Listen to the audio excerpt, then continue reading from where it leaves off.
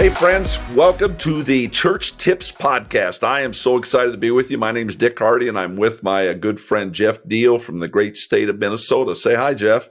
Hey, what's up, everybody? How's it going, Dick? there. Hey, uh, you know, either you're wearing the stocking cap because worship pastors are cool that way, or it's chilly in Minneapolis, something like that. It could be a little of both, maybe. A little both, a little both. So, anyway, Jeff serves as the um, uh, a on the worship uh, faculty at North Central University in Minneapolis, and uh, his also has this claim to fame of being a lead singer with Sonicflood, uh, the great uh, worship band uh, back in the late '90s and early 2000s. And it really is a privilege of us, ours at Leaders Church and Church University, to be able to hang out with Jeff. So thanks for for doing the drill with us, man. Thanks. I love the partnership. Appreciate you guys. Good. Over the last number of months, we've uh, created uh, with Jeff's uh, help and kindness and generosity the uh, worship leadership course in Church University. You're going to hear more and more about that in the next number of days. Uh, along the way, we created two uh, PDFs that are designed to be helpful to lead pastors and to worship leaders.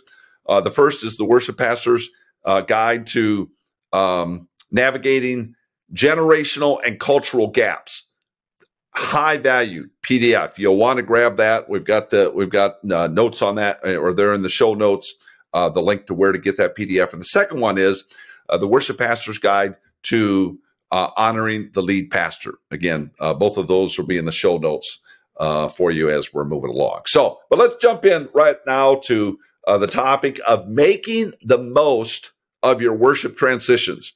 So, um, uh, worship pastors and worship leaders for sure uh, know that feeling of, oh man, I'm finishing this song and I got to get to the next one. I all these kind of things, and lead pastors have been out there watching that thing go upside down way too often. So, uh, Jeff, I know that's never happened to you, but maybe you could give us a little jump start into the conversation on uh, on how you navigate this. Absolutely, yeah. I mean, you know, most guys out there know that they've been cruising along in their favorite song, their worship song, everything's going great, and then you get like three bars from the end, you go, oh, I forgot to talk about the transition, you know, and how are we going to get from this song to the next song? It's like leaping across the Grand Canyon sometimes, you know? So it, we just, I, I, have a few ideas that I think are going to help you. You might think, oh, I know how to do transitions. I just have a few ideas that might be outside of the box that yeah. I really want to share with you. Yeah. Well, uh, let's uh, let's talk about that here a little bit. You know, where do you begin in figuring out transitions? Where does it all start?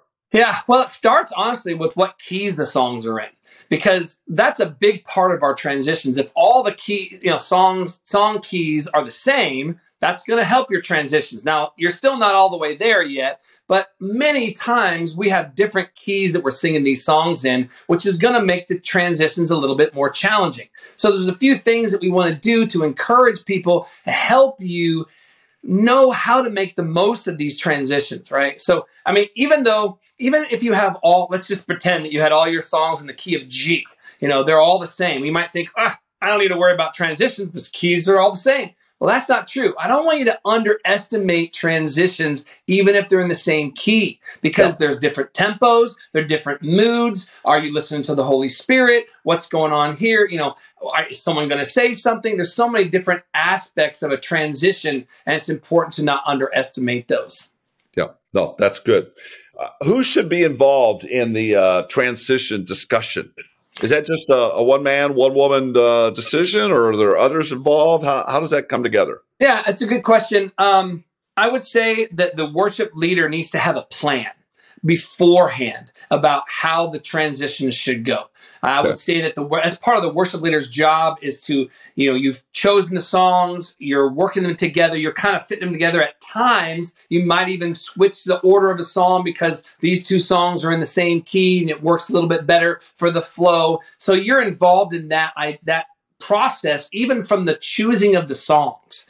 So then when you get into it, you have a plan about how you think things are going to go, and then you can present that to your team. Now, some guys are so on top of it that they'll actually put some of those ideas in the planning center online documents, right? Okay. So they'll actually put some of those notes in there. Hey, we're going to end this song and we're going to do this swell and then we're going to count off and then we're going to move, you know, they're going to give some of those directions. And I would encourage you, if you can do that, do it. Now, one of the things I would like to encourage you, this is a big, big point right here, right? So many times what I've seen people struggle with, they have this big opener song, right? And it's a big song, it's a fun song, and it ends with this big crash out, as we would call it, where everybody's like, da-da, you know, and the drummer's hitting and the keyboard's playing, the guitar player's doing their thing, and then we kind of end with a ba-ba, you know, and it's over.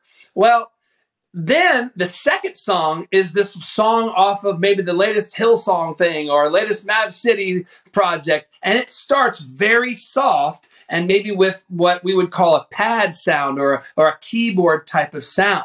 And so people think, oh, well, we have to do this song exactly like it is on the album. Well, you're kind of knee jerking people. Like you go from this moment of celebration to this quiet as a church mouse type moment, you know? Well, there's different ways to fix that. I want to give you two real quick. One is to, if you can, when you finish that fast song, maybe go back to the chorus of that song. And if it's possible, sing that chorus again, but slightly down in intensity and maybe not with the same tempo. There's a lot of fast songs that are really uh, that that work well this way, where you can sing out the chorus, but slower, more elongated. And I'm telling you, this does a lot of things. It, it helps the transition, but it also helps people sing that song with new ears and new eyes because suddenly they're singing something different and they have new perspective on the lyrics they're singing. So you bring that the intensity of the first song down by singing that, that chorus down and then it eases you into the transition for a slower song. Now, the other way you can do that is the flip. You can always take that second song and beef up the introduction. Take a section from the end of the second song that usually is bigger and louder and bring that up to the front and make your introduction uh, louder and more intense. So you can crash out on song one, count off on the next song, and kind of go big full band into the intro of your second song and then drop into the verse yeah. where so that smooths all that out. Yeah. No, that's good. Uh, so how do you uh, when you're doing transitions, of course, we've got um, as we've talked about in um, a few of these podcasts, you've got varieties of players here. Of course, you have the singers, you got the band, you got the worship people. How do you how do you or the the production people? How do you talk, communicate to the production people about transitions? Yeah, I mean, what what's going to happen is, especially if they are at the rehearsal, then they're going to kind of see what's happening and they're going to experience the spaces that are going to happen between songs. But some of that does need to be discussed. I know that some are uh, there'd be an issue of whether or not a person is going to be talking you know, like lighting. Is lighting going to come down it's just going to be silhouettes? Is it just going to be backlit? Or are we going to need to keep a light? Are we going to need to move a light from this person who's singing to the next person? Is someone praying on those transitions? So you have to kind of talk through some of those elements so that the production people know, is this mic going to be up? You know, uh, if I'm leading the first song and someone else is leading the second song, there's always a question as to whether am I going to exhort at the end of the first song and maybe pray as part of the transition, or is the other singer going to do that as part of the next song? So the the engineer needs to know what's happening there too, so they can make sure they have the mic levels at the right level. Yeah, no, that's good. You know, you referenced uh, creativity along the way. Um, uh, just talk a little more about creativity and transitions. Yeah, there's so many great things that you can do. Uh, you know, being able to bring different ideas, different ways of doing the transitions. Um, you know, like for example, sometimes you might think this is a difficult transition. If you're if you're doing a song in C and you want to drop down a half step for the next song in B. Now, that's probably one of your most difficult transition moments. But I want to give you two really awesome ideas on how to make that without it feeling like a weird half step, you know, drop.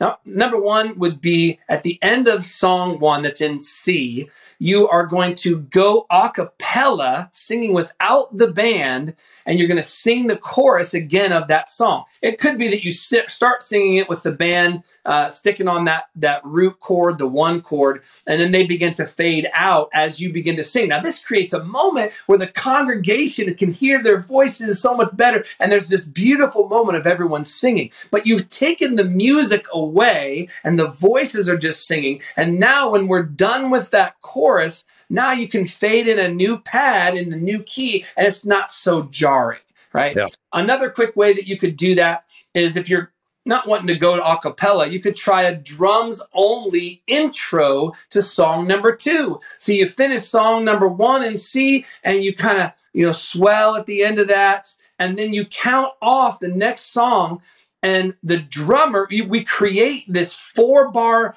drum loop. It could be with a medium tempo song or an up tempo song or even a slower song. You could kind of keep this little drum thing going with toms or whatever.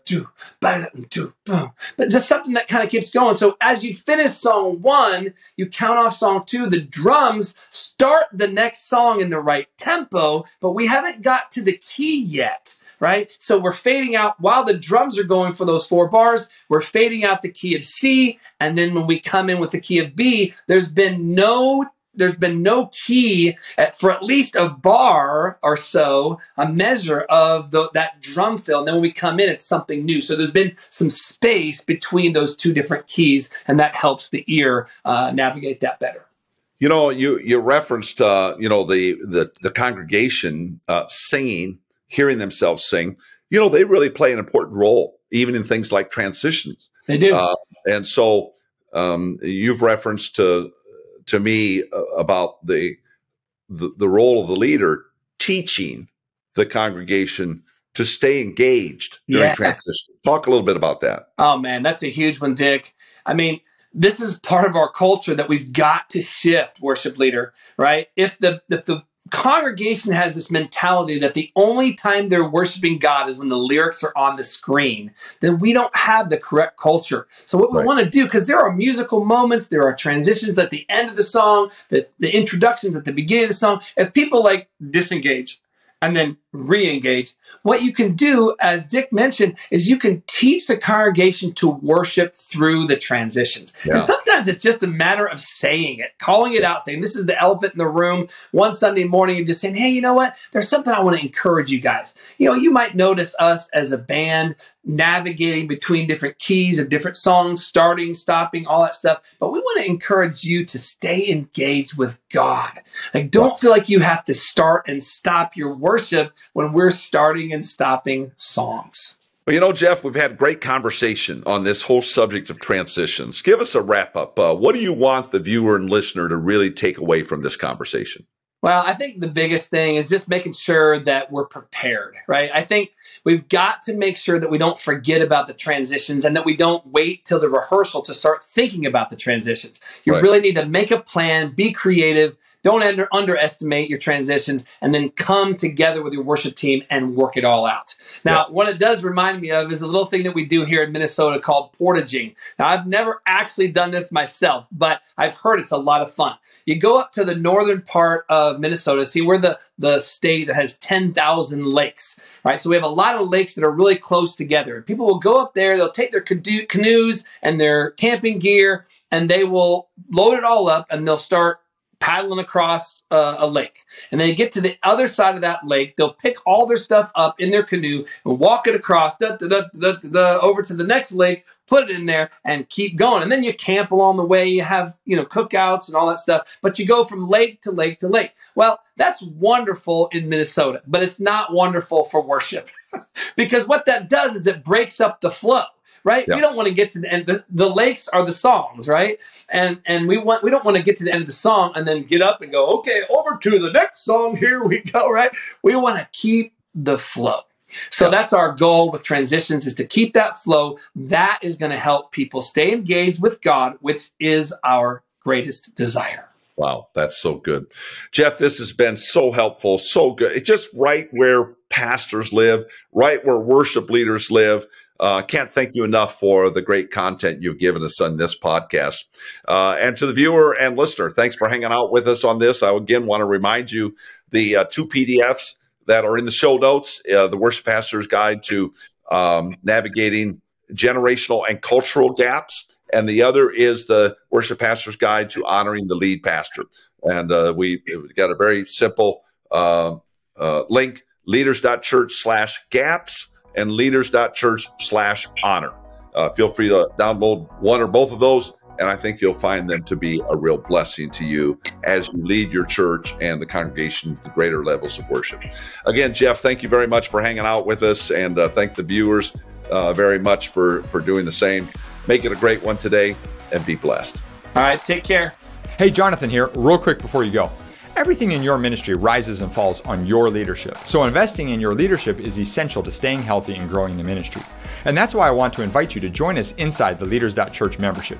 This online streaming service for pastors gives you access to more than 300 videos plus training material to level up your leadership and improve your ministry skills. If you'd like to do that, I want to invite you to go to leaders.church slash boost. Again, that's leaders.church slash boost. Well, thanks again for joining us on the Church Tips podcast. We'll look forward to seeing you next time.